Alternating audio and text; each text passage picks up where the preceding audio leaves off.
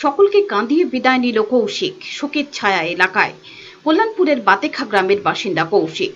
কাজের সূত্রে সে আগরতলা পিসির বাড়ি থাকতো। শনিবার ঘটে মর্মান্তিক ঘটনা। এদিন রাজধানীর দুর্গাবাড়ির সামনে বালি বোঝাই লরির ধাক্কায় গুরুতর আহত হয় সে।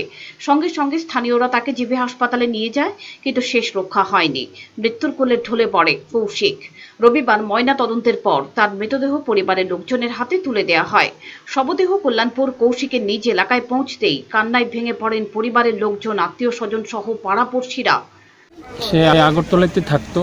তো সে দুর্গাবাড়ি এবং জগন্নাথ বাড়ির কাছে, ওইখানে তার বাইকটা আরেকটা বাইকের সঙ্গে লেগে একটা ট্রাকের নিচে সে তার এই কোমরের উপর দিয়ে সেই বালু বোঝাই করা ট্রাকটি চলে গেছে।